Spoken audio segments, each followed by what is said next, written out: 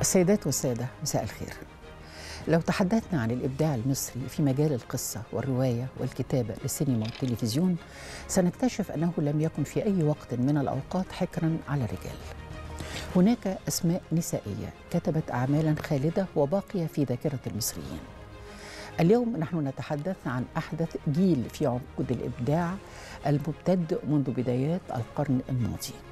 جيل تفتح وعيه في التسعينيات على واقع اجتماعي جديد. واقع حطمت فيه تكنولوجيا الاتصال أشكال الحدود والقيود والعلاقات الاجتماعية القديمة. ظهرت أقلام نسائية مصرية ترى الواقع بعيون مختلفة. موضوعاتها مختلفة.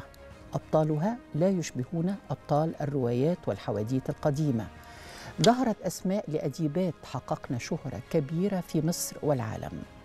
ترجمت أعمالهن وحصدنا جوائز عالمية مرموقة. اليوم نحن نتحدث عن إبداع جيل من حقه علينا أن نعرفه أن نتأمل إبداعه ونفخر به كما يفخر هو بهويته وبانتمائه لبلد قدم للإنسانية العديد من رموز العلم والفن والثقافة. حديثنا اليوم من مصر عن إبداع المرأة. عن مشوار وإنجاز أديبة مصرية تحدث عنها العالم هذه الأيام.